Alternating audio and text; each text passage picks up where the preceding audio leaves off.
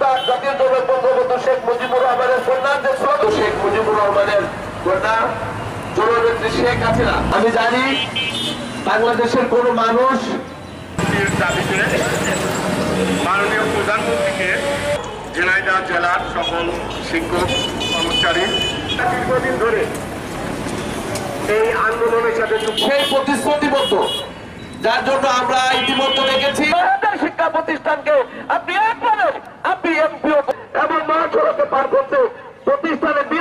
তারা শ্রদ্ধ তিনি যে দুই হাজার এমপিও করতে চেয়েছেন দুই হাজার নয় নয় হাজার কর্মচারী ফেডারেশন ঝিনাইদহ জেলার কর্মসূচি করেছি একটানা আঠাইশ বত্রিশ দিনের মতো।